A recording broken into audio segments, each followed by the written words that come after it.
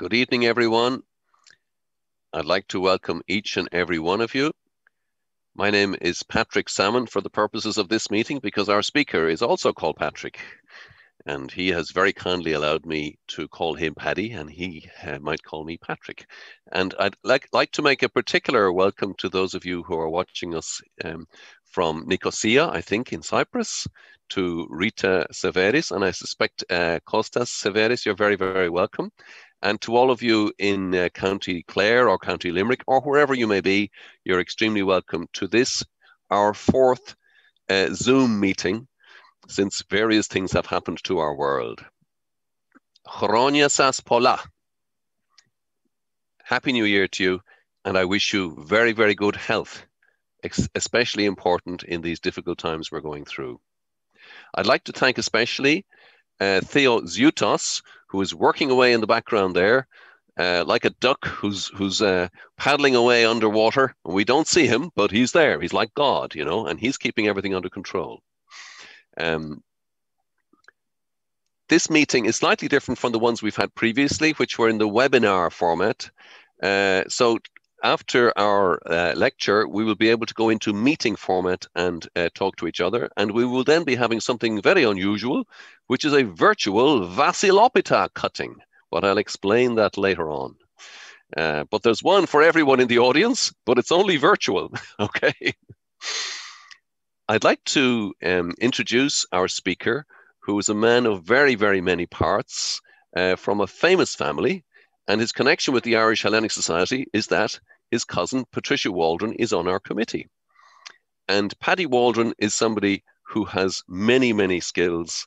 Uh, he's a, a, genealogist at the moment, but in previous lives, he's been an economist. He lectured in Trinity, and he also can say that he was lectured to in mathematics by our founding president, Petros Florides. And Petros, I wish you too, Chronia Pola. It's a very intriguing title to his lecture because I must confess I knew nothing about Sir Hal Blackall.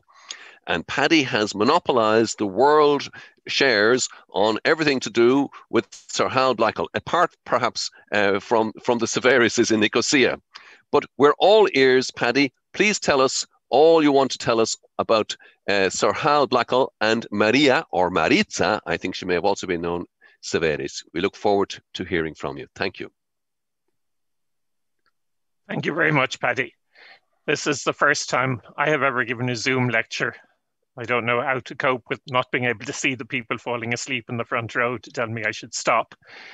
Um, thank you very much to Paddy and to Theo for setting this up and going over rehearsals with me yesterday. And thanks to the committee, or particularly to Cousin Pat for inviting me to speak. When Pat asked, could I give a talk to the Irish Hellenic Society, I said, God, I don't think I'd know about anything that would interest the Hellenic society. And then I thought of the Blackalls who ended up in Cyprus and thought of my dear friend Petros, who I first met 40 years ago this year in a first year class in Trinity College. So that's how this lecture came about. It's been postponed because of the pandemic. I haven't been able to do the research that I hope to do, but luckily I've had plenty of material of my own in my own archives uh, to base the lecture on. A very special welcome to Kostas and Rita Severis, who are Maria's nephew and his wife, listening in from Cyprus, who I made contact with when this was first organized. And Rita said, You'll have to come out and look in our archives as yourself. We have so much material. And then the pandemic happened, and my plans to take a holiday in Cyprus last year never came off. Um, and welcome to all the others who are listening around the world. I see names from America, Liverpool, Australia, people with Blackhall ancestry and lots of those places as well. And welcome to all my other friends who've heard about this via Twitter and Facebook. Um, now I have to share my screen so that you can follow some of the, the words. And the other thing I'm going to do is go into the tech, the chat, and give you the link. All my notes for this talk are on my own website. And if you go into the chat, there is actually a link there now, which you can click on if you want to follow on the website rather than on Zoom, or if you want to go back and follow later on. Um, There's a picture of Sir Hal. You'll see some more pictures later on. His full name was Henry William Butler Blackhall. Butler was his mother's maiden name, but I think he was known to all as Hal, H-A-L or possibly H-A-L-L as Rita spells it. Uh, let me begin by talking about my connection to the Blackhalls, or cousin Pat's connection to the Blackhalls. For those of you who know her, I'm going to have to shrink that down a little bit. But here's the Blackhall family tree. George Blackhall and Marcella Burnell lived in um, Killard, County Clare. They married in 1782. Their son, John McMahon Blackhall, poor law guardian, uh, followed them. Their daughter, Catherine, went to Limerick, where she married her distant cousin, Jonas Blackhall, a solicitor. Their son, Henry, was another solicitor, and their son, Henry William Butler Blackhall, was yet another lawyer. On the other side, in Killard, Marcella Blackhall married a local farmer called Hugh Clancy, had a son, George, had a daughter, Mary Ann, who married John McNamara, moved to the other side of Kilkee, who had my grandmother and Pat's grandmother, who married Jack Waldron in Limerick, and they moved to Dublin, where Aidan had Pat and Aidan's brother, another, yet another Paddy, had me. Um, so let me go back to the outline. I'm going to divide the talk about Sir Hal's life into three sections, and I'll zoom that up so that you can see it again. Um, his life before Cyprus, when he met Maria Severis, when he came to Cyprus, and then their married life together. Then I'll talk about his legacy under various headings, and then I'll talk about the roots of the Blackhall family in a little more detail. And Hopefully I should have gone back to this one before. Um, I have a second connection to the, the Blackhall family. This is the National Library's Parish Registers website, and these are the baptisms for Castleconnell Parish in County Limerick in 1855. And on the 17th of March, down here, we have the baptism of Thomas, son of Thomas Waldron and Catherine Parker of Castleconnell the baptismal sponsors were Nicholas Blackhall and Catherine Dowling. I think that's Blackhall, looks like Blackhall with a H. Some people have read it as Blackwell, but I can't find any Blackwells living in the area. But Sir Hal Blackhall had an uncle who was a teenager at this stage and a great uncle who was older, both living around Castleconnell. And this Thomas Waldron is my great grandfather and Pat's great grandfather and he was born four days earlier on the 13th of March, 1855. And by remarkable coincidence, his two great grandchildren are here tonight both share his birthday many years later. We won't say how many years later. Um, so both of my grandparents, my grandfather Waldron, through his father's godmother, and my grandmother McNamara, through her Clancy and Blackhall ancestors, were connected to the Blackhalls. Uh, as I said, the Blackhalls had deep roots in the legal profession.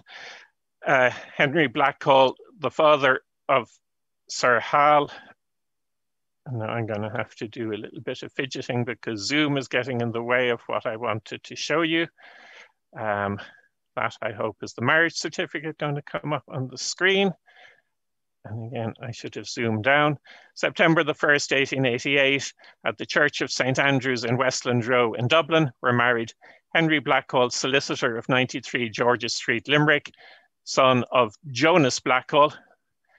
The registrar or the priest was a little confused. He never heard of Jonas. He thought it was Thomas and had to correct it. A solicitor married Isabella Butler, then living in Lower Fitzwilliam Street in Dublin, son of William Butler, a gentleman, but she had been born in Cork, and the Butlers were originally from Bonahow near Crusheen in County Clare.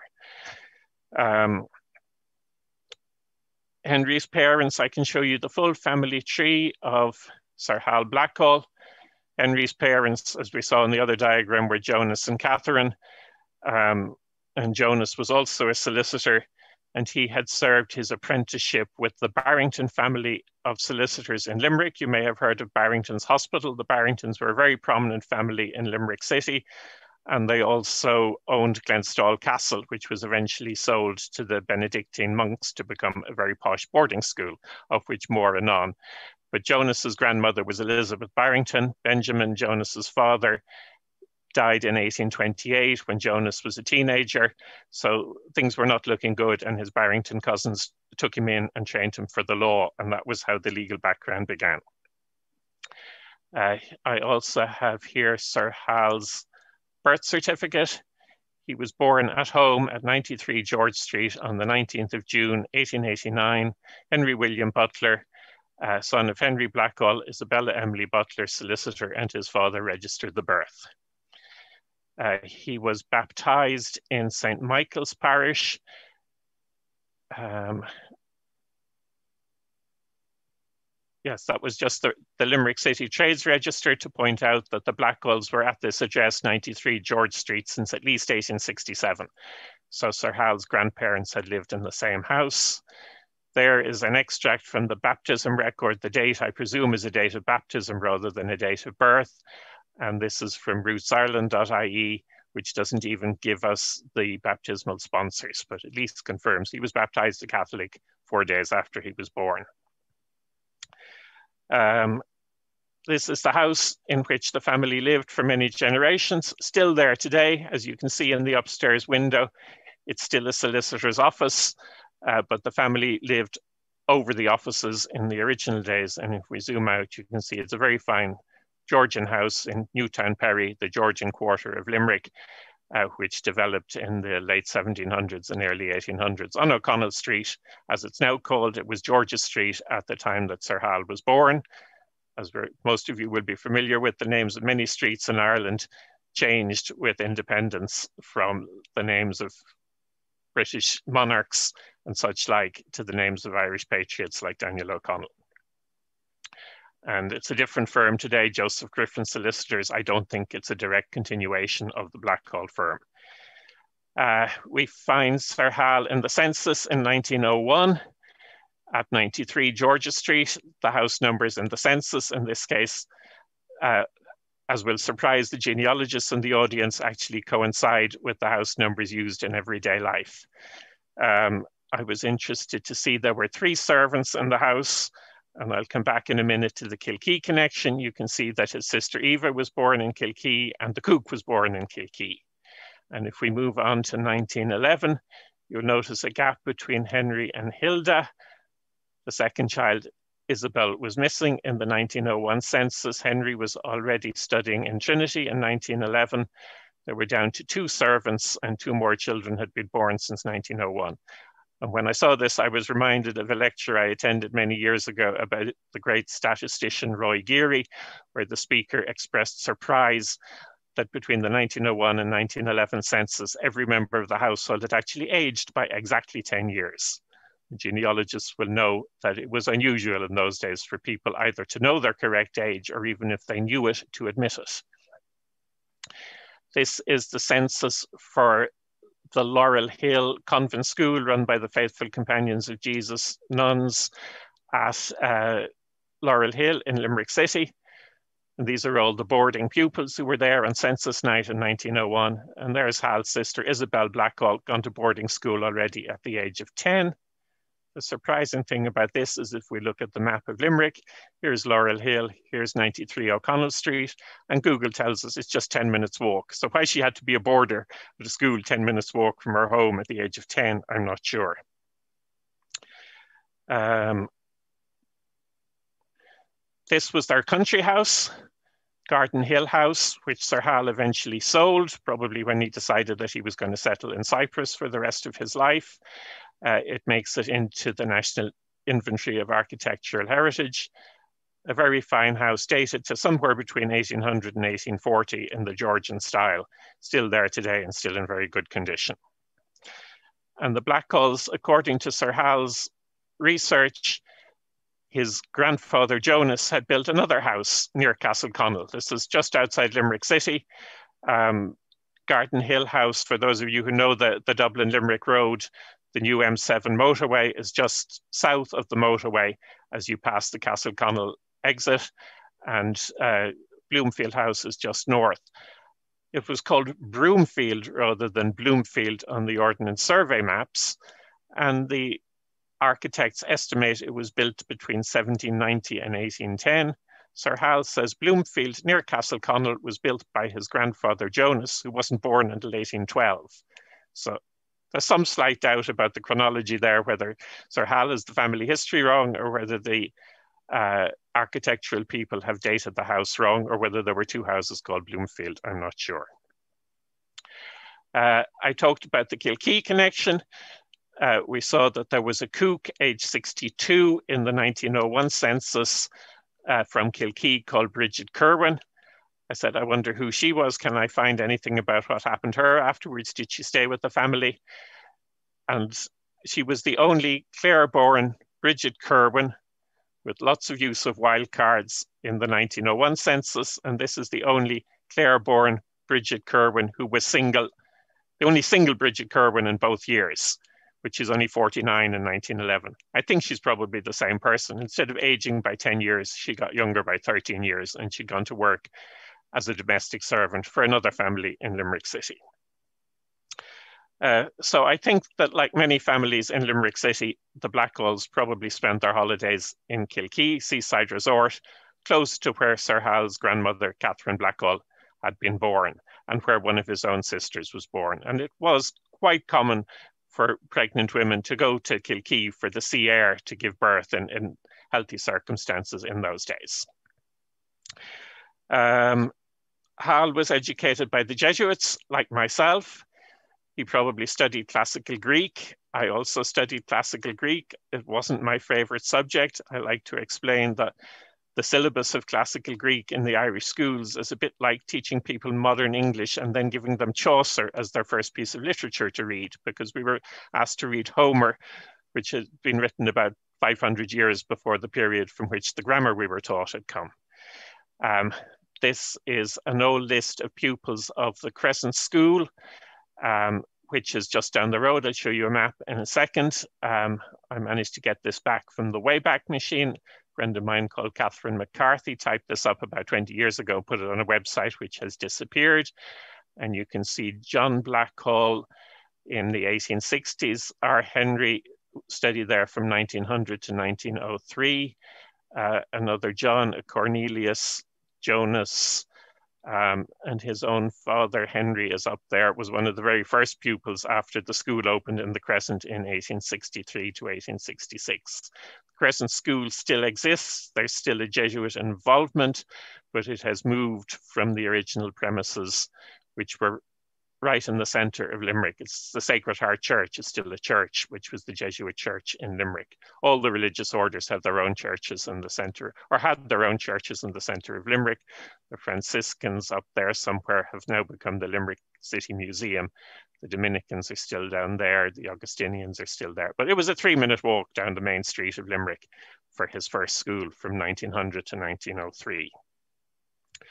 Um, and he is still acknowledged by the Past Pupils Union of the Crescent School as a distinguished lawyer alongside our own recent uh, Attorney General and Chief Justice John Murray and other distinguished lawyers educated by the Jesuits in Limerick.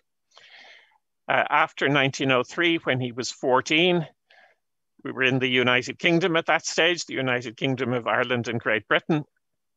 So he was sent off to another Jesuit school, Stonyhurst in Lancashire in England, still there, there today, a very posh public school.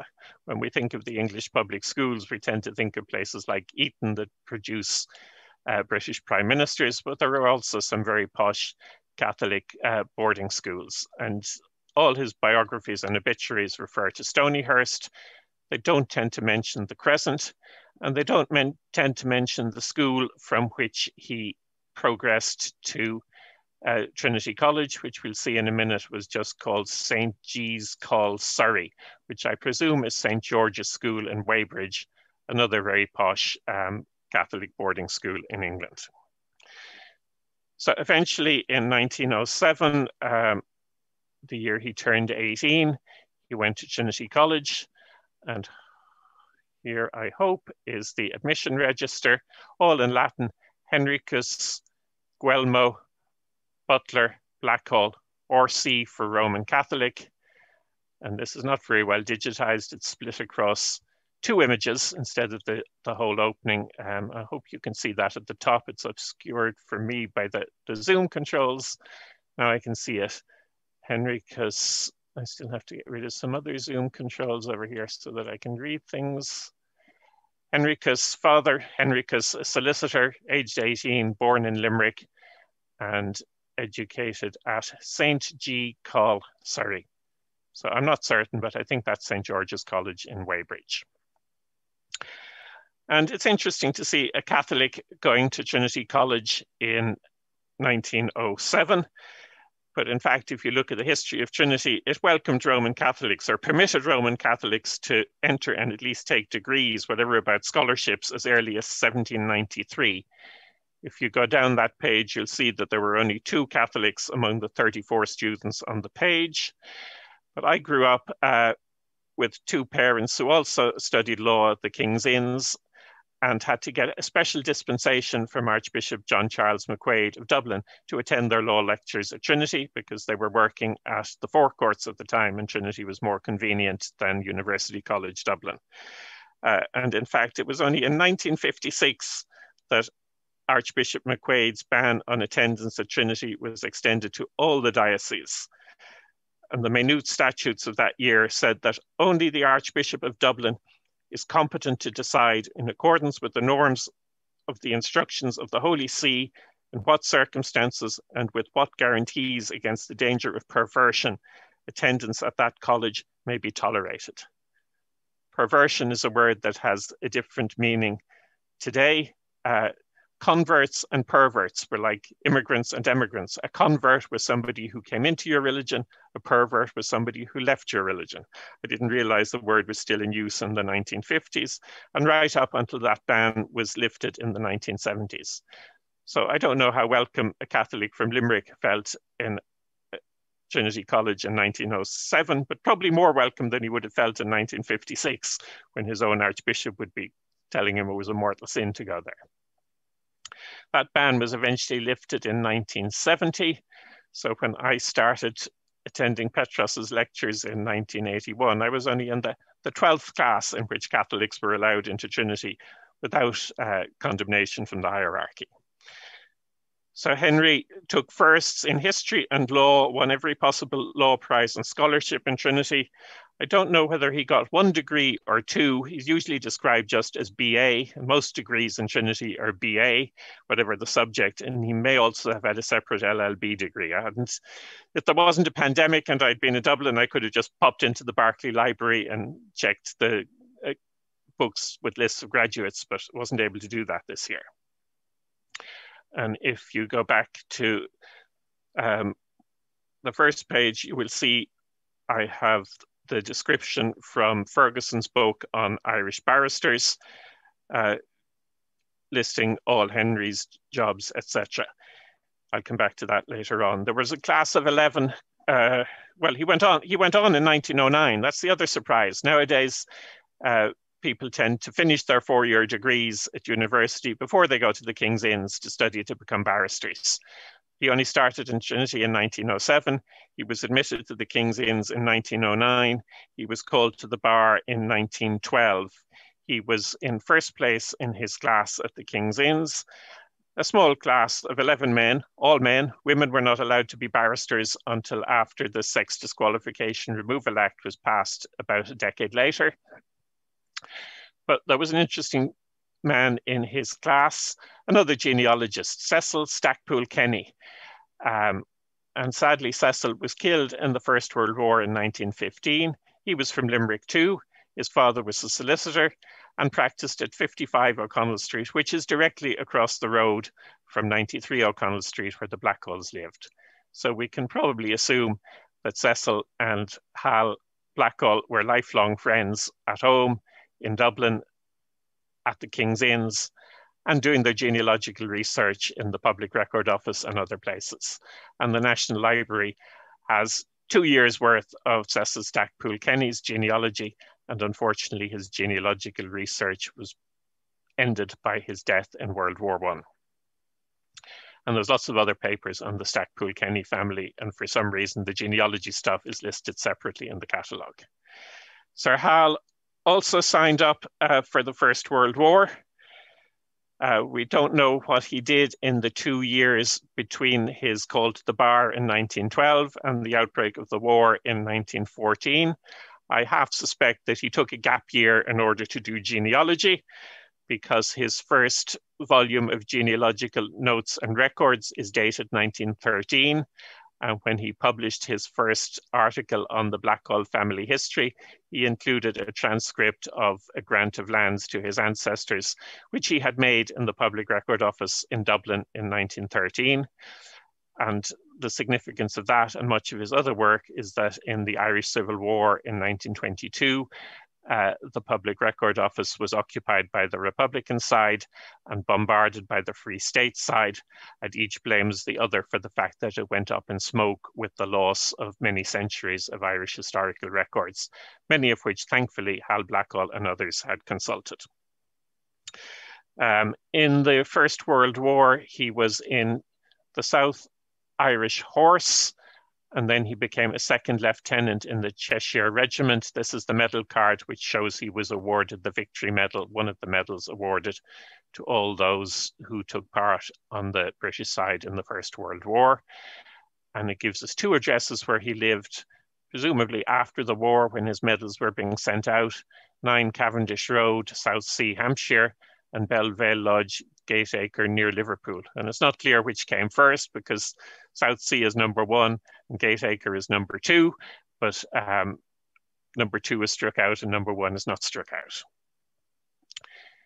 So eventually he had to get a job and he joined the colonial civil service. And I suppose we can say Ireland was still part of the United Kingdom at that stage, and it's not too surprising that uh, somebody with a law degree from Trinity and the King's Inns would go and work in the colonial service.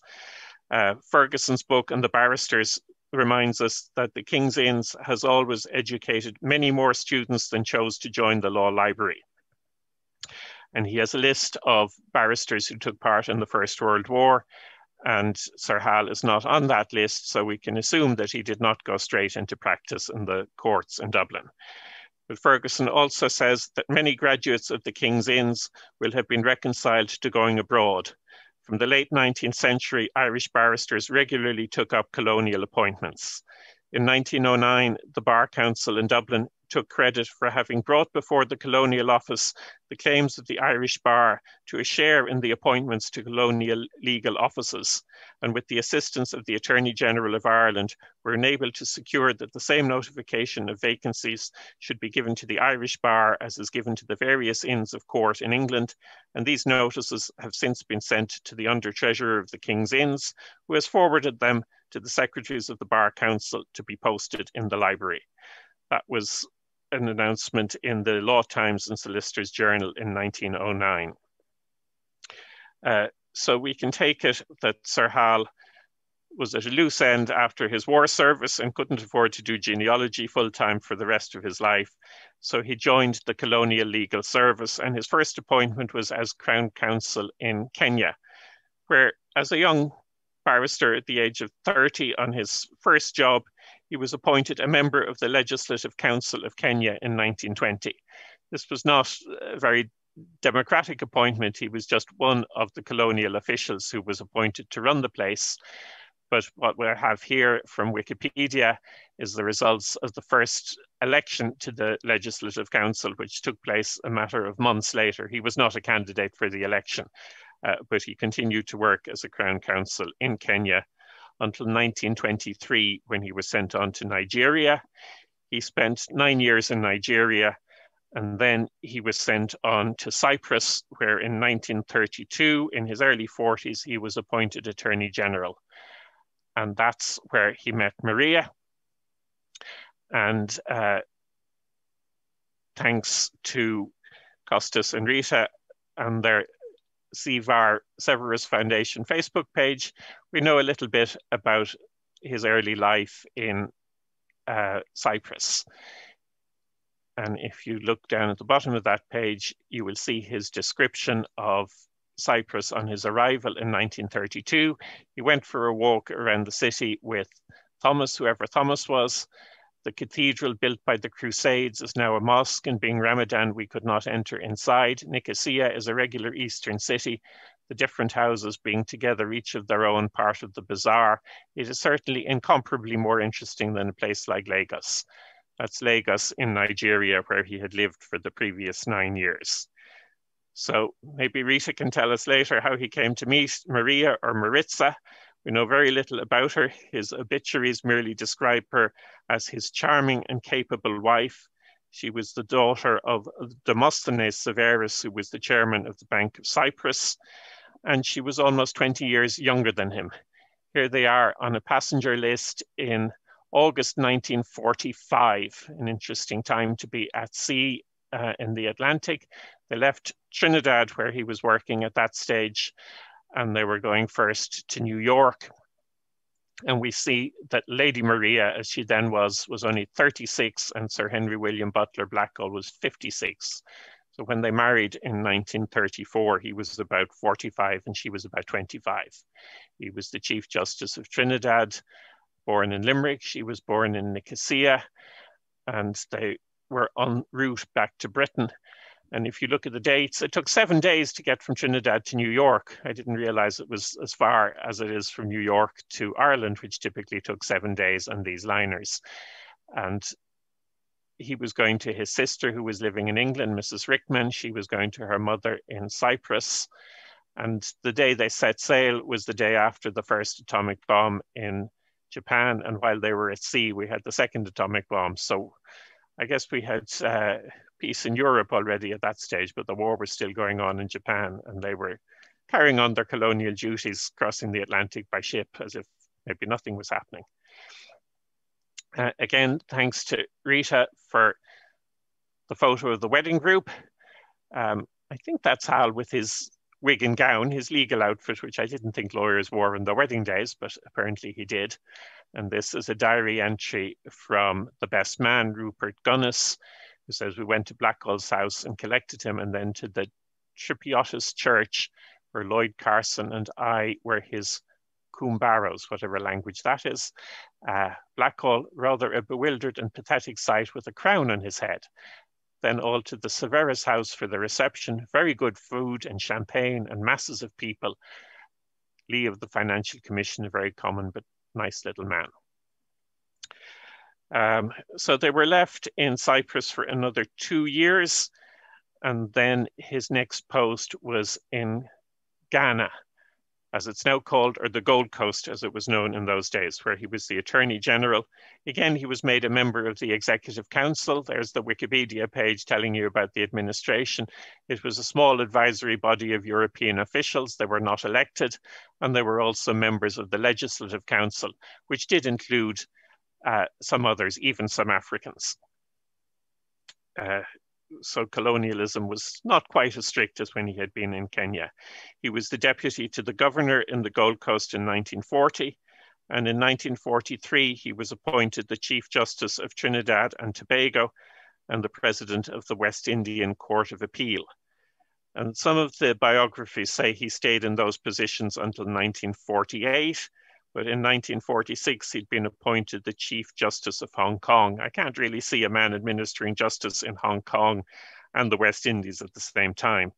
Uh, but maybe there's some explanation for that. But he went back then to West Africa to be the president of the West African Court of Appeal from 1948 to 1951 and retired in 1951 to Kyrenia in Cyprus, his wife's home city but he made almost annual visits to Dublin during the 1950s and 1960s. And when he was in Dublin, he went to the Public Record Office every day to carry on his genealogical researches.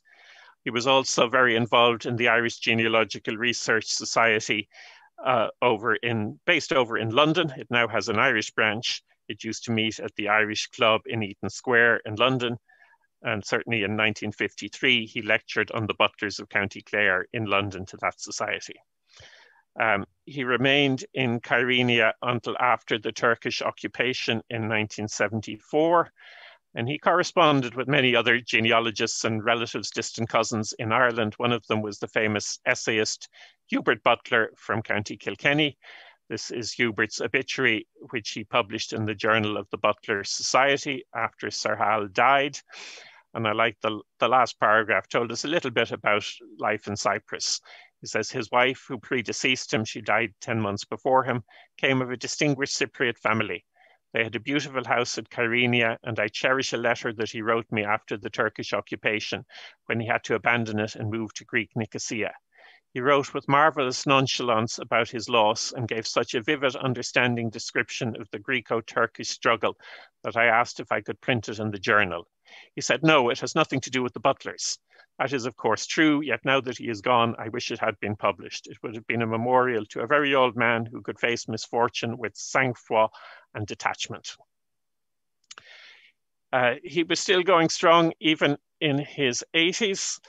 Um, he was a member also of the Thomond Archaeological Society based in Limerick, and that was the society that had published his genealogical work on the Butlers, and he wrote to the editor of the journal in 1977, complaining of loss of memory from old age, being 88, but offering the journal a pedigree of the O'Mulvihills, something which never materialized. He was listed as a member of that society in their journal in 1979, living at 7 Halkidon Street in Nicosia. And Maritza, even though she was 20 years younger than him, died first on the 1st of January 1981. And Rita Severis, her nephew's wife, who's here listening tonight, has told me she Maritza died in her arms. And Hal died 10 months later, the 1st of November 1981, age 92, 69 years to the day after he'd been called to the bar in Ireland. So to talk about his legacy, uh, there are a number of obituaries which I've been able to draw on for this talk. There's a biography in Wikipedia, which I may go in and edit at some stage. I've already shown you uh, Hubert Butler's obituary in the Journal of the Butler Society, the Irish Genealogist, the Journal of the Irish Genealogical Research Society, also published an obituary, uh, which is there, which was written over the initials HDG, which I presume is Hubert Dayrell Galway, who was the editor of that journal and also his collaborator on the history of the Galway family. As you may have noticed on the family tree, his maternal great grandmother was a Margaret Galway. And there were actually two Galway families in Ireland one in the north and one in the south. And his conclusion was that the ones in the north took their name from Galloway in Scotland, the ones in the south took their name from Galway in the west of Ireland. That was disputed, and I think that he and his obituarist were from different branches of the Galway family, but they'd worked together in trying to tie the two families together. Uh, there's another obituary which appeared in the London Times. Again, Zoom is getting in the way of uh, jumping from one page to the other. And that should bring up the London Times obituary, um, which tells us all about his degree at Trinity, where after taking first in history and law, he proceeded to win every possible law prize and scholarship.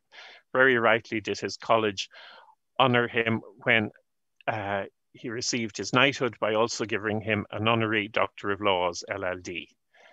And it also says that in the First World War, as well as serving in the Cheshire Regiment, he served in the RAF, the Royal Air Force, which was only established in 1918 in the closing months of the war. But there didn't seem to be any mention of that on his medal card, so I'm not too certain. There's also an obituary in the North Munster Antiquarian Journal, which I quoted earlier by Edward MacLysaght, another famous journalist who was even older than him. MacLysaght was born in 1887 and was still writing obituaries of his friends at the age of 95. Uh, Hal got his knighthood in the 1945 New Year's honours list, a knight bachelor with a long list of people who got knighthoods for their work in the UK, three for their work in the Dominions, more for their work in India, and then a short list of people who worked in the colonies, protectorates, etc., including Henry William Butler Blackall. Uh, when he got his honorary degree in Trinity, he was it was reported in the Clare Champion, the local newspaper in County Clare, uh, from where his ancestors or where his ancestors had lived for many generations. And is uh, described him as grandson of the late William Butler of Bunnahow, a former High Sheriff of this county, County Clare, and as being a collateral descendant of the famous Clare lawyer Sir Toby Butler, who was MP for Ennis in the historic Parliament of 1689 and Solicitor General to King James II and actually drafted the Treaty of Limerick. He was a great, great, great, great, great, great nephew of Sir Toby Butler, but apparently was very proud of him. Um, and I didn't quite know what collateral descendant meant until I looked at the pedigree and worked that out. The Irish Genealogical Research Society made him a fellow in 1969. He'd been publishing in their journal from 1941, right up until his last article appeared after he had died in 1981. He drafted the rules of that society when the founder, Father Wallace Clare, died in 1963, and he was the vice president from 1964. He was also vice president of the Butler Society, Society for those with Butler ancestry. I thought for a while of trying to put together a complete list of his publications, but there are just too many.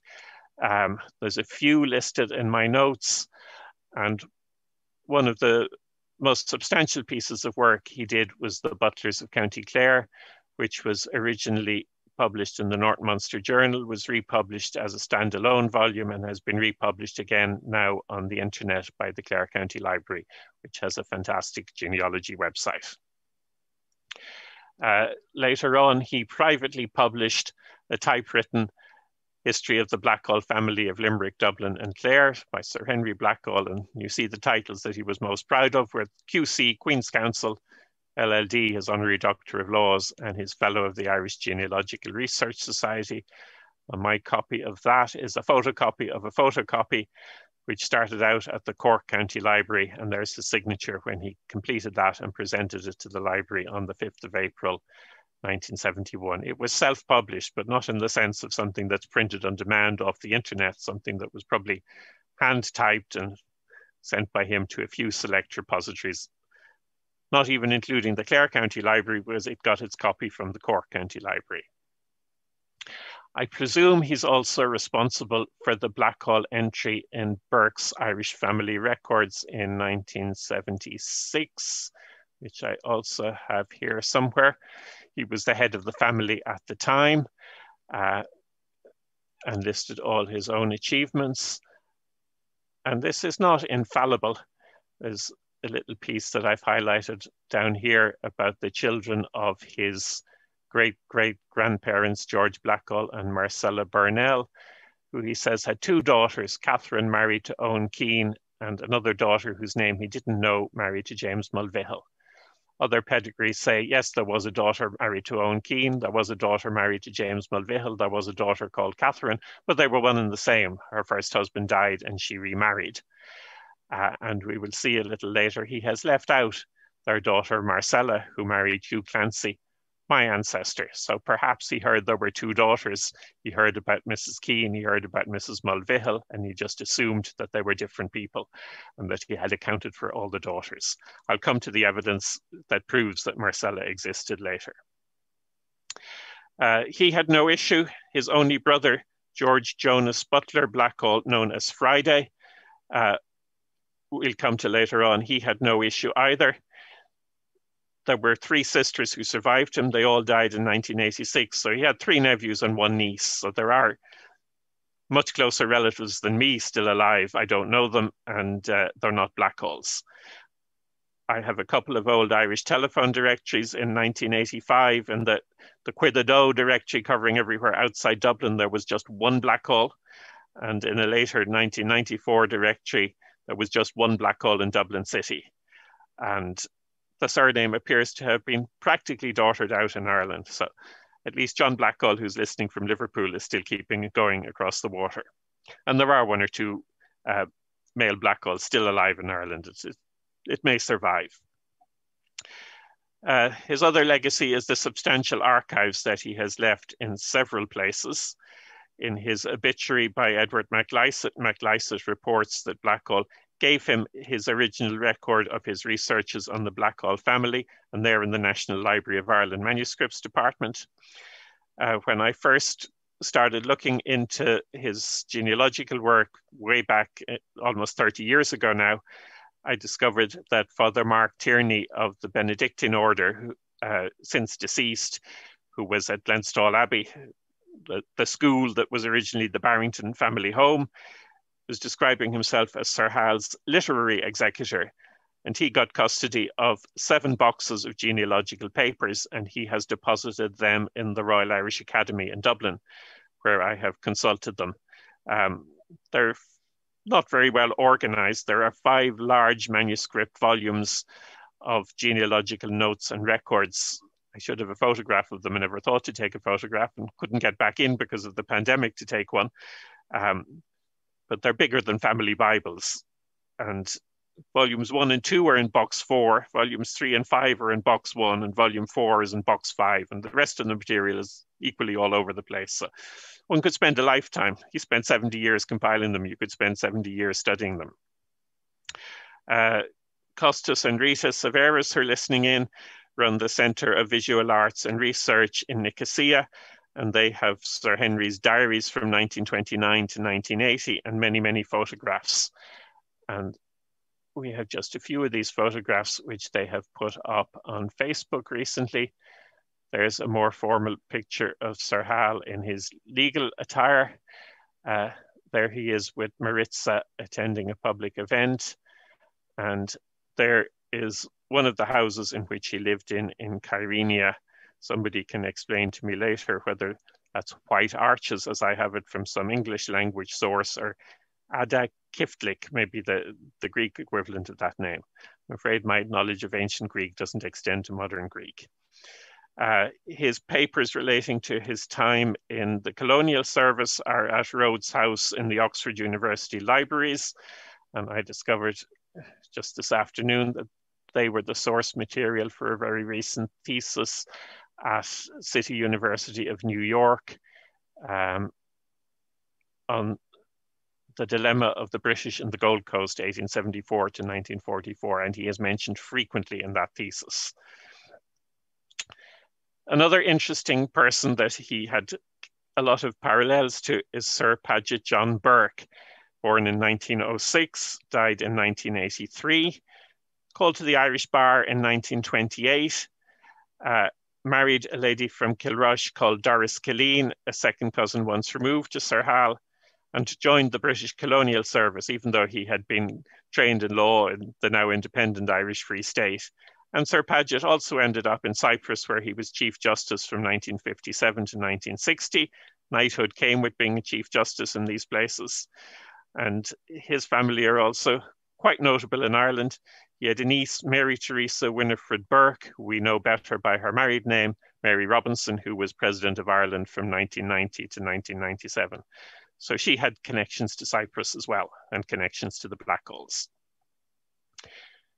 Uh, so Sir Hal performed an invaluable service to all of us connected to the Blackalls by his 70 years of genealogical work. And as I mentioned already, what was especially important was so much of that was carried out in the Public Record Office adjoining the Four Courts in Dublin before it was destroyed in 1922. I hope that the people behind this Beyond 2022 project to create Ireland's virtual record treasury um, and to try and gather together as many copies as possible of the items that were lost in 1922 have been going through Sir Hal's papers in the Royal Irish Academy to see what they contain that is now lost. A um, couple of interesting quotes from his obituaries. He was reluctant to express doubt in his genealogical work by using such words as probably or possibly, or such expressions as may have been. He preferred to give a judicial verdict on the evidence available. This legal approach sometimes let him down when fresh facts later came to light. I'll come back to that in the last few minutes. And to those who may be reluctant to publish anything that is not perfectly researched, that felt like I was reading about myself, with the result that nothing ever appears, he'd like to quote the adage, the best is the greatest enemy of the good. Uh, the Blackalls he described as being Cromwellian landed gentry, but essentially they were Catholic middlemen. Uh, his distant relative, George Blackall, the Lord Mayor of Dublin, in a letter in 1694 stated in no uncertain terms that the family came from Devon. Uh, in his article on the Burnells and the penal laws, he wrote about some of his ancestors who were not entirely Catholic. His great great great grandfather, Christopher Burnell, lived in Ranaghan, County Clare, and was considered a papist. And all his children, according to the case under the penal laws, were so trained. He was a victim of the Popery Act of 1703, whereby an undutiful son, on becoming a Protestant, could prevent his popish father from providing for his Catholic offspring. So in 1763, Henry Burnell initiated proceedings against Christopher Burnell, Mary, his wife, who was Henry's stepmother, and James Butler, who was her nephew. Henry was the eldest son, the only son of the first marriage of his father. And when he expressed a desire to become a Protestant, his father and stepmother threatened to maintain him no longer, so he took proceedings against them. He alleged that they had made a treaty for James Butler to buy their estate at Ranaghan in trust for their children, his half siblings. And Christopher admitted that he had made over his estate by a deed registered in January 1763. So that was very common in the penal times if Catholics had land that they were in danger of losing, they would find a friendly Protestant and register the land in the name of the friendly Protestant. But in this case, the son tried to throw out his parents and his half siblings. And the Butlers of Bunnahow were Catholic, but they were the only branch of the enormous Butler dynasty that remained Catholic. So finally, let's come back to Killard, where Sir Hal's grandmother came from, uh, where my great grandmother came from. It was one of the places that was very badly affected by the Great Famine in the 1840s. Here you see a sketch that will probably be very familiar from the Illustrated London News of uh, 1850, showing the devastation, the roofless houses after evictions in Killard. And in that article, which is also available from the Clare Library website, uh, the writer seemed to confuse the townland of Killard, which was the Blackall estate, with the much larger parish of Killard, where there were many different landlords. So he said, It is chiefly the property, I understand, of Mr. John McMahon Blackall, whose healthy residence is admirably situated on the brow of a hill, protected by another ridge from the storms of the Atlantic. His roof tree yet stands secure, but the people have disappeared. The village was mostly inhabited by fishermen who united with their occupation on the waters the cultivation of potatoes. When the latter failed, it might have been expected that the former should have been pursued with more vigour than ever, but boats and lines were sold for present subsistence, and to the failure of the potatoes was added the abandonment of the fisheries. The rent dwindled to nothing, and then came the leveller and the exterminator. Um, and if I, I'm almost finished, so we'll go back to first page. How did I discover the proof of my connection to the Blackalls, which had been handed down orally from this article, which appeared in the Limerick and Clare Examiner in October 1849, uh, signed by John McMahon Blackall, talking about the house levelling which took place within the last 12 months and what he terms his son's portion of Killard. Hugh and Thomas Clancy were evicted, the father and son. They never paid rent. Hugh Clancy was married to the sister of Mr. Blackall and got the place in right of his wife from old George Blackall, deceased. So we know from other documents Hugh's wife was Marcella Blackall, and we know from that newspaper article that the tradition that she was the son of old the daughter of old George Blackall is absolutely correct. The Blackall lad- lands descended to a Miss Massey Blackall, who never married, and at the end of her life, she wanted the farm to remain in the Blackall name, and she actively encouraged her niece, Nancy Blackall, in her, her relationship with Sir Hal's brother, who was known by his nickname Friday Blackall. It was the name of a racehorse he once owned, I'm told. They were second cousins, and they eventually did marry after Miss Massey died, but he was 44, she was 41. There were no issue, and they sold up in 1963 and moved to Dublin, and that was the end of the Blackalls in West Clare. Uh, through the Butlers, Sir Hal was actually a ninth cousin twice removed of the present Queen of England. Both of his parents and her mother were descendants of the 11th Earl of Ormond. And finally, we're starting to use modern technology to research the Blackall family history. And John, who's listening from Liverpool, has had his Y chromosome analyzed. He's got no matches who are Blackalls, but he has matches with surnames like Blackledge, Blackledge, and Blackler. So evidently, uh, the name has evolved in different ways in the many centuries since surnames were first established, and Blackall is just one branch of a bigger dynasty. So thank you all very much for listening. I hope I haven't gone too far over time. I've done it in less than an hour. I was told to do 45 minutes, and I'm happy to answer any questions. And let's see if I can figure out how to get back onto Zoom and see what else is happening.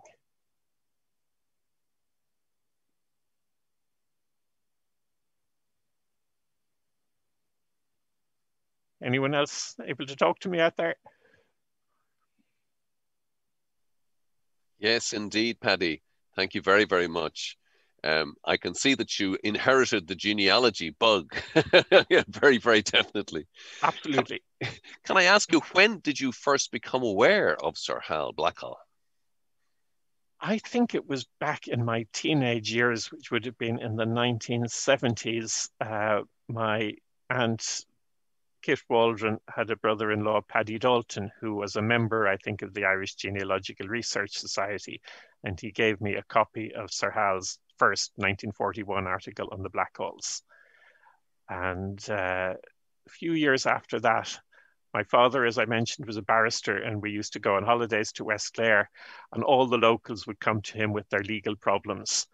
And there was a gentleman by the name of Jim Coughlin, who we didn't even know, but was a friend of a friend and had some legal problem and was sent to visit my father for legal advice. And it turned out that his mother in law was a Blackall descendant and I think was living with him and was about 90 and talked incessantly about the Blackalls. And I still have the sheet of paper where Jim wrote out what he knew of the Blackall family history from his mother in law, including Sir Hal of Cyprus. And uh, I just kept going from there. And it was probably about the early 90s when I discovered his papers in the Royal Irish Academy in 1993 when I first went to look at them. And I've been back a couple of times since, but could spend my whole retirement there trying to make sense of them. Well, thank you very, thank please, you very, please, very Rita, much. please. Thank you very much for this interesting lecture. Brought up, brought back lots and lots of memories of Uncle Hal and uh, Auntie Maritza. Um, I must admit, I didn't know much, so much about his gene genealogy, about his ancestors. Um, although I ended up one day after Uncle Hal died, I went home and I found in my entrance hall a pile of books that came and was dumped on my floor uh, when they were cleaning out the house. So I ended up with all these books, which I kept for years and years and years, and manuscripts of uh, on genealogy, on the butlers, and on the Blackalls, etc., which I must admit, shame on me, I never read. But um, a lot of them I had to finally give away Eh, because I didn't have space. I still have a few just to remind me of him and of Auntie Maritza. And I'm very willing to show you, Patrick, whenever you manage to visit Cyprus, because there, there's a whole bunch of manuscripts as well. Good, good. I look Apart forward to getting getting there when the world returns to normal. Exactly. Apart from the the diaries. You asked how they met. Yes. They met at Platres at a hotel um, up uh, up in uh, the mountains, in the Troodos Mountains in Cyprus, where it seems that uh, uh Hal uh, used to go for his holidays, maybe from Kenya, because they met, uh, I think, in 1929. And um, in fact, he uh, he liked another girl to begin with, a Cypriot girl, and was after her. And then he he noticed Maritza and changed his mind and started uh, flirting with Maritza, who was in fact, he was one year younger than his mother-in-law. Two, two, two years younger. Two, year, two years younger than his mother-in-law. And uh, Demosthenes Severis, his father-in-law, would not hear of a marriage. He was very, very much against it. You know, the difference in age, A and B, uh, a Brit, not a Cypriot, at that time, it was anathema. But she, Maritza was a formidable lady. I mean, a real character, and she was out. If she wanted something, she would get it. And she persuaded everybody that this is what she was going to do. She was going to marry Hal. And everybody had to step back and allow it. Mm-hmm. Great. It's, it's wonderful to get some first-hand information at long last after 40 years of wondering about this man. Yeah. And he lived in uh, the house they lived in to begin with in Kyrenia was Ada Çiftlik. That's Turkish. Ada means island in Turkish. And Çiftlik um, means, uh, refers to a state or a farm, a large farm, an estate. And it's because it was a huge piece of land that belonged to Maritza. Uh, and it was just under St. Hilarion Castle. They built this, this house. Uh, Ada Çiftlik uh, Island, because on the border of the land, there were two streams, left and right. So it was like, um, like an island. And then when, uh, the, after 1963, when the first uh, trouble started, and there was a lot of militia in the area near St. Hilarion Castle. After that, they moved out to Kyrenia to the family house, which was called White Arches. You mentioned White Arches. Yes. Uh, White Arches was the house uh, down in Kyrenia overlooking the harbor. This is a lady speaking from Cyprus. Go on, go on. Ask me anything else you would like to hear. Oh God, that's that's wonderful to, to hear all of that. and Kumbaros, you asked what does Kumbaros means? Kumbaros means first man, and his Kumbaros was uh, Rupert Gunnis, ADC to Sir Ronald Storrs. Um, and uh, Hal was uh, very close to Rupert Gunnis and to Ronald Storrs and they were quite uh, often invited to Government House at the time. It was called, but the presidential palace was called Government House. And in fact, um, during uh, during that period, there was a time that uh, uh the Greeks were uh, doing passive resistance against the colon- uh, the British and they would not accept invitations by the British. They would not go to Government House. But Maritza, with Hal, went and in fact danced the reels. And the next day it was in the newspapers. And her father wouldn't get out of the house. He was so embarrassed. He wouldn't get out of the house for days. So she was a rebellious young lady. Oh, yes, oh, yes in every way. Yes. And I wonder how easy was it for him to get a transfer from uh, Kenya to Cyprus when he decided he wanted to, to court her? I don't know. Uh, I wouldn't know. I know that he was. Um, they they lived a, very a very good marriage together, but they had separate separate uh, pockets each one looked after their own uh, income. They never did anything jointly financially.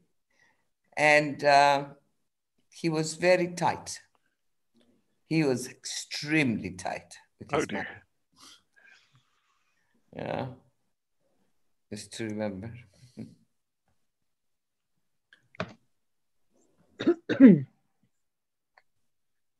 uh, Paddy, can you hear me? I have a little anecdote I'd like to share. If that's okay. Yeah, I can't even tell who's speaking now. Oh, it's John Blackwell John, from Liverpool. How are you? Go on. Uh, the one who's related to the royal family. Yeah. Um, well, I was out in Cyprus in uh, 1958 I was a young lad, age 18 in the army.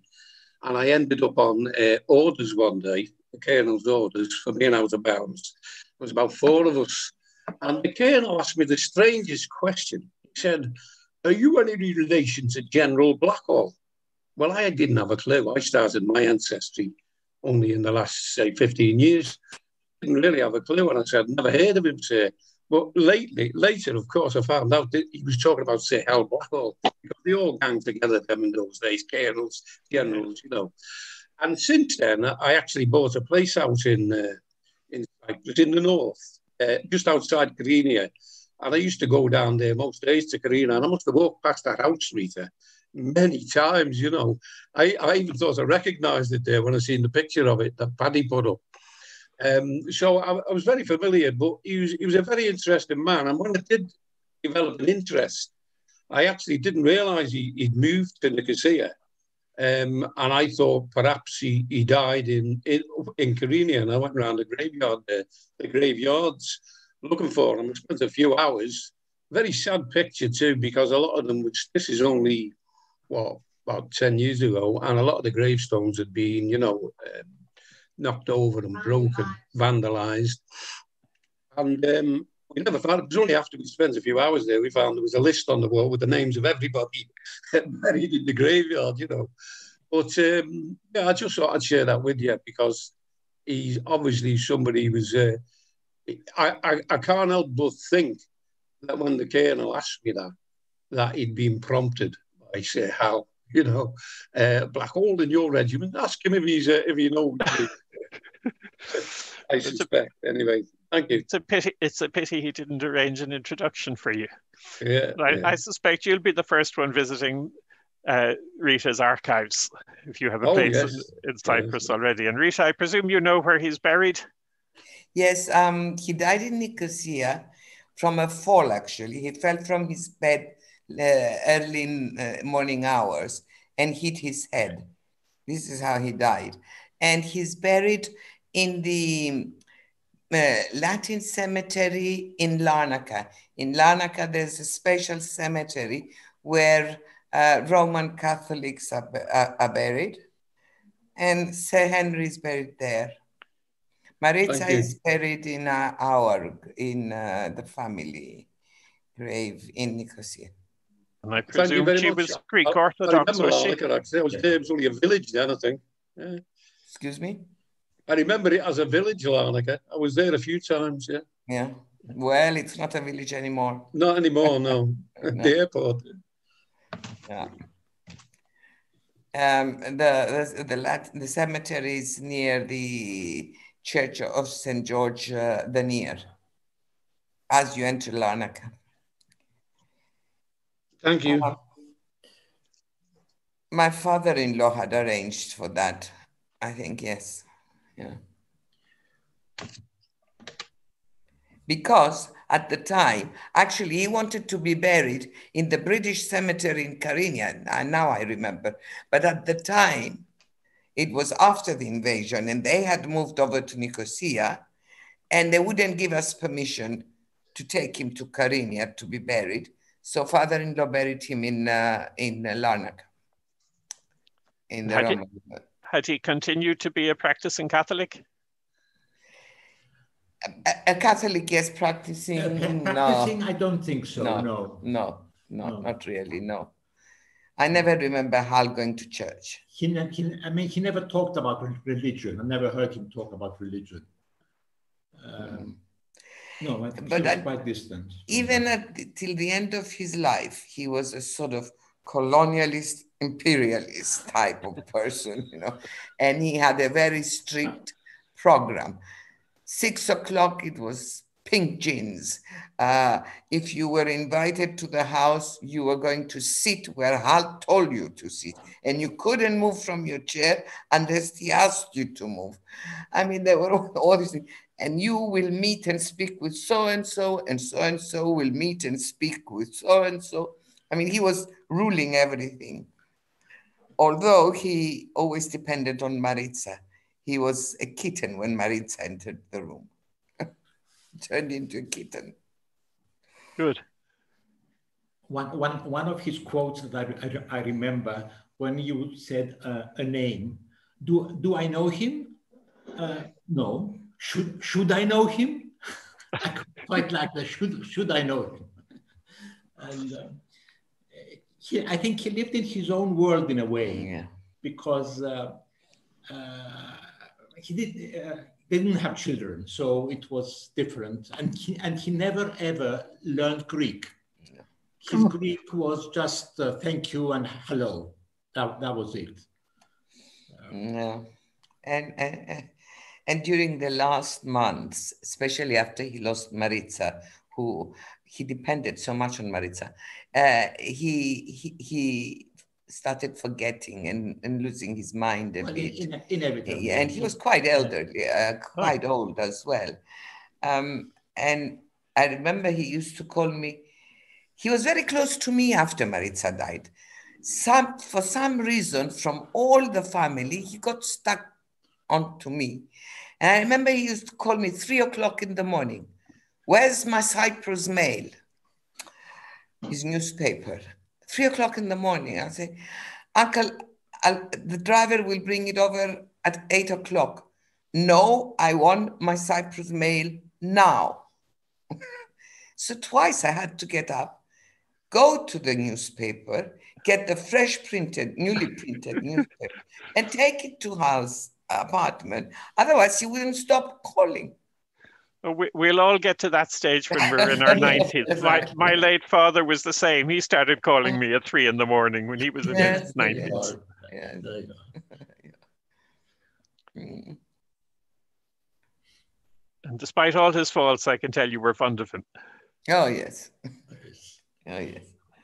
You must come to Cyprus. I'll show you. You should read his diaries. I will have to, yes. and Yes. and masses of pictures, masses of pictures, and, uh, and there were a lot of people in the pictures which I can't recognize. I don't know who they are. Okay, Robert Gunnis and Storrs, You man, I don't want to send a message to Patricia. but the rest I, I I wouldn't know. So you know, some, maybe maybe you can recognize some people. They're f- foreign people. They're not bottom. Cypriots. Yeah, it's one of them. I must try Yeah. and get in touch with his nephews and nieces and their descendants. Their the nephews and nieces are possibly all dead by now. And I, I his sisters His are dead, I think, but he had a Doesn't nephew who inherited him. Uh, I can't remember his He, name. he, he had a, a, a niece with which he corresponded. I think from all his family, eh, there was a niece. I don't yes. remember. A niece or a nephew? a niece. But there was a nephew that inherited him. I don't know, Yeah. but he, definitely he had a niece with which he corresponded. he had a He was a- nephew, Cecil, in Canada, who I know Oh, is that's dead. right. That- That's right. Yeah. That, I think it's, it was. Yeah, This- is. Just come on, on to chat. Yes, I think this is the name, Cecil. He had a niece, Greta, Yes, who was Greta. married to, Greta, Greta, that, that's to a one. man with the wonderful name Tyrwhitt Drake. He Yes. had a nephew, Nigel, who was an actor. And the other uh, I remember nephew was Richard Rickman, who may I still think- be alive. I haven't found a death record for him. I know that he didn't get on with his three sisters. He didn't like them. And he would see them only once a year when they, every summer they used to go to London and stayed in a, they rented a, a flat in Hill Street. And he used to see them for one, one day. They would have lunch together and that was it. But he But still seemed to use the sister's address when he was traveling back and forth to England. Yeah. Uh, maybe. Right. Thank you so much for all that. Well, no, thank you for the Thank you. lecture. Thank you. And thank you for bringing all this back. Uh, it's been so long. Yeah. Think about it. But you're not going to make me go open the drawers in the research center of the museum tomorrow and start checking what was left, what's Good. left there from Hal. Keep me posted on whatever you find. Well, now we, we know much much more about him, about his life before coming to Cyprus. So perhaps we can read the, his papers better and uh, Hopefully. informed about it. Mm. Anyone else got any questions for me? Paddy, could I just ask you a question? This Pamela O'Neill. Uh, as the name suggests, Blackall, that is it is English. Uh, did they come into Ireland? Is it a family who came into Ireland and in, from England, and in what century? Yes, 1667 was the first grant of lands that he found mm. in County Limerick, and he described them as Cromwellian landed gentry. Um, so I think the land was rewards for services to Cromwell in the in the army. So it came in that way, and uh, a, a, lot of the people they're married to also have English surnames on your chart. A, a great deal of them are oh, English there's, there's, there's a great a great mixture. There's um, sorry, I'll share my screen again in a yeah. second if I can. Uh, share screen. Share so that you can see the pedigree chart again. And there's the pedigree chart. So yes, Thorne is probably an English name, and certainly he wrote at one stage he thought she was a Catholic and then discovered she wasn't. But MacMahon is very much Irish. The Butlers were Normans who were in Ireland for a long time. But McNamara is very Irish. And there's a mixture of everything there. We can't think of. Yes, uh, Seymour, Lambert, Forster, and so yeah. on. And were they, um, were what part of England were they coming from? Oh, I think they were all in Ireland for many generations. Um, I, mm. couldn't, I couldn't tell. In, in, Did you say in, Devon? What you said? The black the Blackalls came from Devon. Yes. Devon. Yes. Yes. But where the the Lamberts or the Seymours or the Thorns came from, I've no yes. idea. I'm afraid. And uh, it's interesting to see that this background of English Catholics living in England in Ireland. Um, you know, you, you, you can see the kind of the religion and so on. So obviously they were Catholics at the end, though they might have been Church of Ireland originally. Yeah, well, I imagine there were many mixed marriages on that pedigree chart, and yes, for, for whatever so. reason, both of his parents ended up being Catholic, and yes. he was raised Catholic. But there was it's it's the way that happens, and the Barrington family is so famous, and they um Barringtons in Limerick, they were also very much in County Laois. They had an estate in County Laois, yes. uh, Jonah Barrington and those came from County Laois. Um, it's probably all the same family, isn't it? They're very well documented. Mark Tierney was actually involved. The Old Limerick Journal brought out a special Barrington edition probably about yes. 30 years ago with lots of articles on different branches of the Barrington family. Mm. It's fascinating, uh, Paddy. And uh, do you continue the good work that, that Hal Blackall started with, with the family tree? Well, I'm one of those people who doesn't take his advice and waits until things are perfect before daring to publish them. so I've published very little, but I do my own research, yes. Yes, yes. It's a fascinating subject. And you were mentioning something called 2022 about um, what is it, gathering together the lost records or trying to get duplicates of the lost records of 1922. Yes, what is that project? That's a project based at Trinity College. Yes. Um, run by academics in all sorts of departments. Actually, the guy who was the lead researcher was also a mountaineer who died climbing Mount Everest a year or two ago. Oh. But the work is continuing on. Um, I guess the vision is what we want to see. Um, ah, yes. It's an All Ireland and international collaboration. Working together, we will launch a virtual record treasury for Irish history, an open access virtual reconstruction of the record treasury destroyed in 1922, combining historical research, archival discovery, and technical innovation, offers a lasting and meaningful legacy from the decade of centenaries, democratizing access to invaluable records, illuminating seven centuries of Irish history. I guess Isn't that's that wonderful? a virtual image make... of what it looked like. And the, the really ironic thing is that all these records were in a fireproof uh, repository. Oh. But the, the bomb went off inside the fireproof repository. Oh, and the right. only material which survived were the papers that were out in the reading room that readers had been consulting before the occupation because they were on the other side of the fireproof barrier. Hmm. Ah. So we lost all the 19th century Irish census returns. And somewhere, hopefully, in Sir Hal's papers, we might find that he had transcribed some of the Blackall and Clancy's census returns from 1821 or 31 or 41 or 51, but I haven't come across those yet. Uh, thank you so much. It's very, it's very fascinating. You. That your explanation is very fascinating, and thank you very much, Paddy, for a, a very, very interesting talk. You're welcome.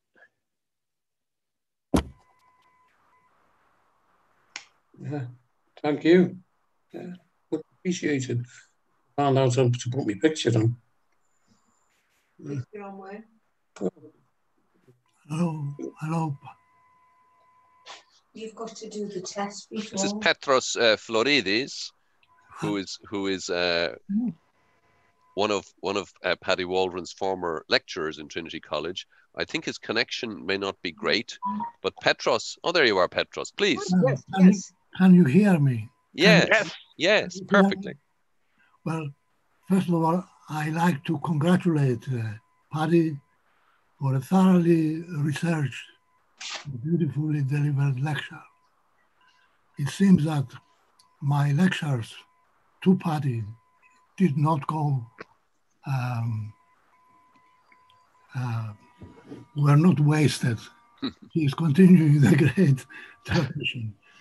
Um, for me, this lecture is very moving because I come from a village very, very close to Kyrenia, where this Severis family um, lived, I believe.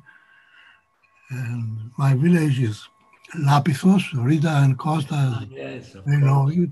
It's a beautiful It's a beautiful village. it's a Beautiful. beautiful village, which unfortunately I cannot visit very easily these days.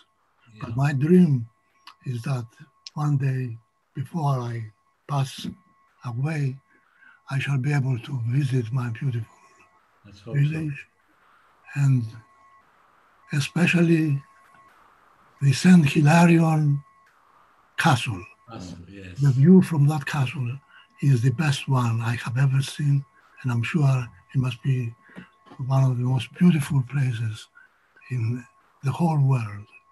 It Under the- inspired Walt Disney. Under your feet is Kyrenia with the lemon groves, you know, Yes. and further to the west is my lovely village, Lapithos. Fabulous, Yes. Thank you very much, Paddy. Thank you, Petros. It's My good to see you again. My question is, after congratulating you on your lovely lecture, really very fascinating, um, is the jump from mathematics to genealogy a big one or not? Not at all. I have got into genetic genealogy, and that is where your lectures have really paid off because being a mathematician and a statistician is enormously helpful, especially in that side. Well, it- it was But I a- was- I also do little calculations pointing out everyone has royal descents because I can think very easily. 10 generations back, we all had 2 to the power of 10, 1,024 ancestors. 20 generations back, we had 1,024 by 1,024, which is roughly a million. 30 generations back, we have a billion slots to fill in our family tree. Hmm. And there weren't a billion people around 900 years ago. So we're all related. And as a mathematician, I have to point that out to other genealogists. Paddy, I, I didn't know at the time you were in my classes that you come from such a distinguished uh, family. You simply add Lucifer to already shining family. So Thank you. know, congratulations. I enjoyed it thoroughly. I'm sorry uh, I couldn't get on your screen before, but thank you very much, Paddy. Thank you very much for all you taught And me. And if I if I can send a message to my lovely island through Rita and Costas, please give the- my little island a huge ah Oh, oh, a, a should hug, a huge hug if you could. Indeed. I love we, it. we hope, we hope to see you here. Thank you.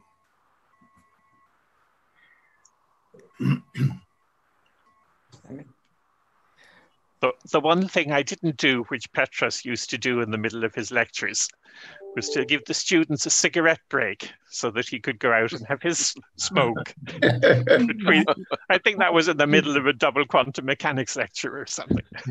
Well, that's news to me. That's news to me because people still come to me after 40, 50 years and they did talk about my dynamics lectures. And especially, they never forget the treatment of how a spin, a spinning top, the dynamics of it is so fascinating. And I'm, they, they still know and talk about it. I must be very happy to hear that. Good, good. Oh, yes. Thank you very It much. is.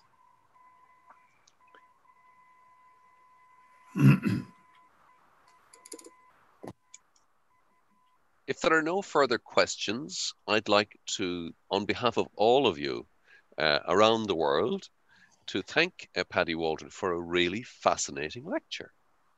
And you can see what he says about the, the fact that we are all related. Here we are all looking, you know, there's, there's, there's, there were up to 47 people looking in on, on, on Paddy's talk during the evening. Uh, from from all over the world, from Cyprus, from Australia, from North America, and some from Ireland even, and uh, we all thoroughly enjoyed it, Paddy. You you have you know you have you revealed a whole new world to us, and we're very very grateful to you. We are very very much indebted to you, and it was fascinating also to to see that our founding president Petros Florides has a connection with you through his through his lecturing in Trinity College. It's only almost a year ago you mentioned that um, Sir Hal Blackall had been uh, awarded an honorary LLD, Doctorate in Laws, by Trinity College. It's almost uh, exactly one year ago, on the 17th of January, that a certain Prokopis Pavlopoulos was awarded an honorary uh, doctorate in law by Trinity College. And many of you will remember going to the exam hall, the public theatre in Trinity, and hearing uh, a wonderful presentation in, in Latin of President Pavlopoulos um, and his reply in Greek. It was a wonderful occasion uh, with wonderful organ music, a gorgeous speech in Latin, and a wonderful speech in Greek in response, in modern Greek in response, uh, and with, with great benefit of uh, a simultaneous translation. It was a marvelous occasion, and it was the last state visit, in fact, that President Pav- Pavlopoulos made. Who were we to know that the whole year after that, we will be more or less enclosed because of COVID. so we have had an extraordinary year, just as we've had this evening an extraordinary lecture. And I'd like to uh, proceed now to uh, something which we have introduced over the last few years in the Irish Hellenic Society, uh, in, in, in, physically in the last two years. But this is a first this time because we're going to be introducing something uh, virtually for the first time. And I'd like to ask uh, Stella Xanopoulou, who is the president. First of all, she is the person responsible for cooking something called a virtual Vasilopita. And I, I will be moving my camera over to show you the virtual Vasilopita, but perhaps, perhaps um, it's, it's called after St. Basil, Vasilis. Pita is the word from which we get pizza, so Vasilopita is a St. Basil's cake. And perhaps, Stella, you could explain a little bit about what St. Basil's cake is and its significance in Greek life for those of us who don't go to Greece so much in the month of January or February. Uh, okay, uh, thank you, Paddy. Happy New Year, everybody. Um, we had decided with um, Pamela O'Neill, the, the previous president of the Irish Hellenic Society, to start doing the Vasilopita. I think wasn't isn't that right, Pamela? Yes, um, absolutely. Yes. yes. Yeah. Um, and uh, so uh, since um, uh, following the tradition that the uh, other um, uh, Greeks in as members of the Irish Hellenic Society uh, used to cook uh, Greek food and bring it along when that was allowed. Um, so I decided to follow the, the, that tradition uh, and at least start doing the Vasilopita. And because every single organization uh, in Greece, every single household will have that uh, pie cut. So in, in the households, uh, we will have it on uh, New Year's Eve or New Year's Day more in New Year's Eve than New Year's Day. But and then the uh, organizations, official bodies, they will cut their own pie. So um, from uh, you know a football club to um, to the the parliament to every single organization uh, will have their own uh, Vasilopita then during um, cut officially uh, in official ceremony uh, during uh, January, February, March, even April sometimes if it's not Easter, uh, just depending on when suits. Um, so it's a very, it's maybe the only uh, tradition that um, is uh, followed by every single organization and every single household.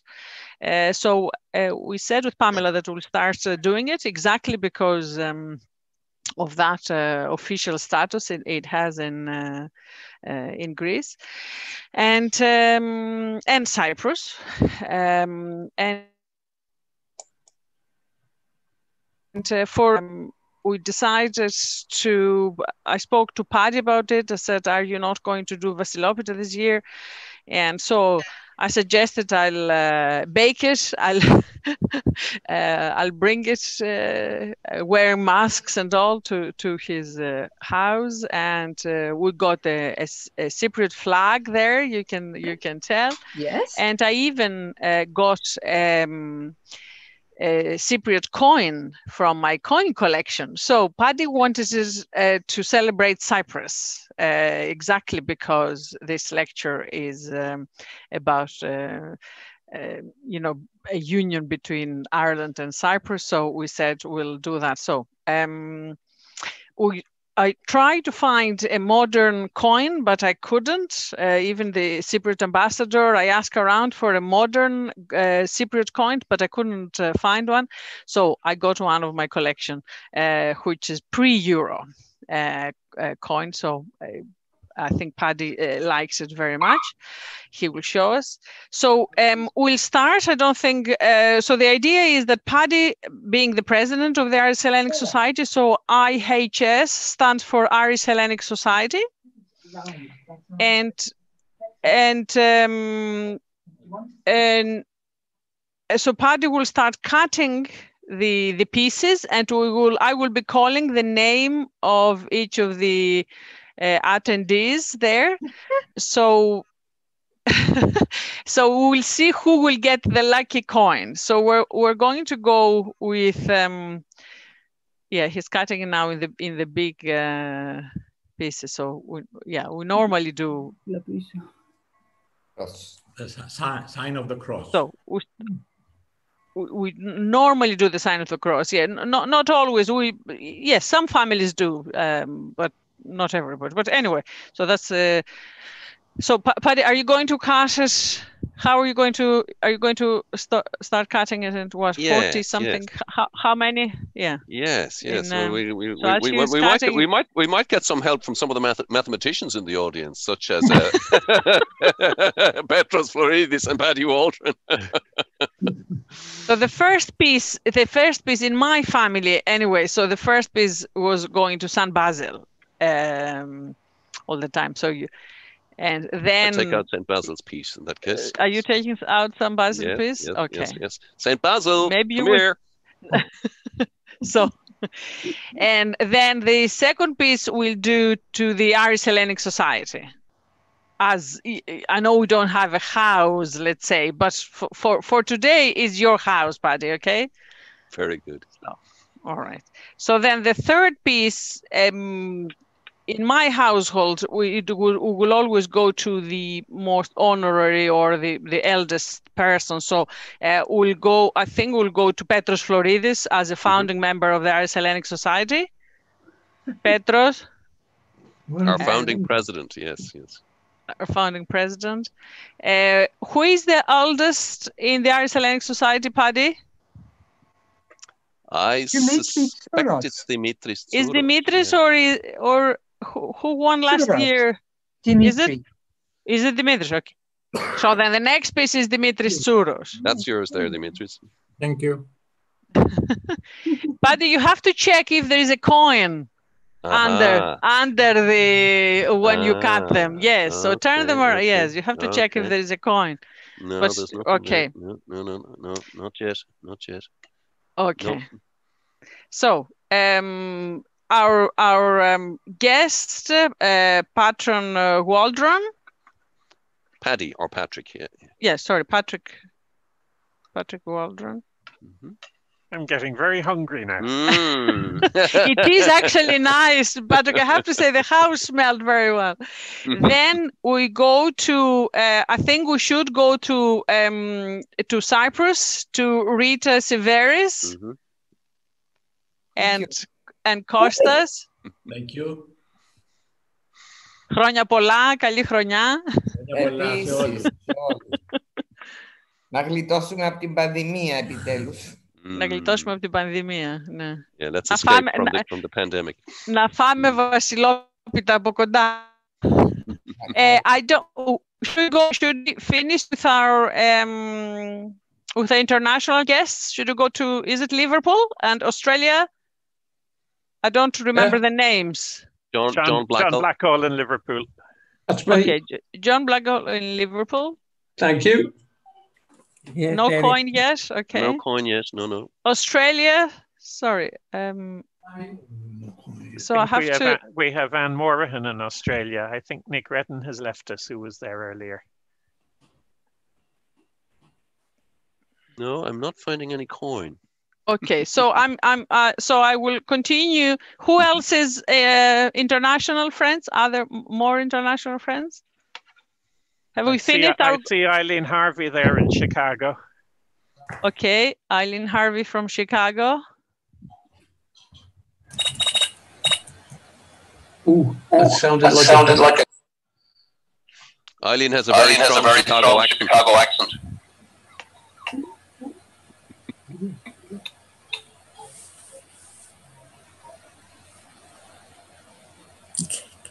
So So, uh, am I, have we finished? finished Aus- Anne from Australia. Australia? Yes.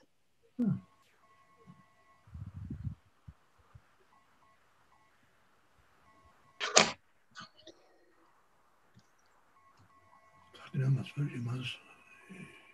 We're continuing. Yes. So Yeah. I'll I'll go now as I see the names on the screen if we Mhm. finish. So we go Val Duffy. Mhm.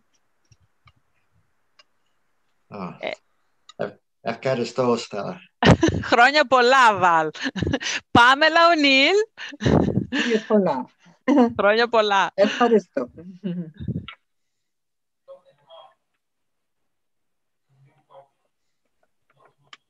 You've done Pamela, yeah. Thank Thodoris you. should I said Thodoris from Crowdlink that he's behind all all that. Theo, Theos Eutus, yes. I see Despina there. Despina Florides. Δέσποινα. Yes. Mm. Χρόνια πολλά, καλή χρονιά. Χρόνια πολλά, Despina. Χρόνια πολλά. Buddy, are you looking for the coin? Oh, every time, every time. Yes. yes, okay, yes. good, Yes, yes, good. Uh, Michael O'Connell.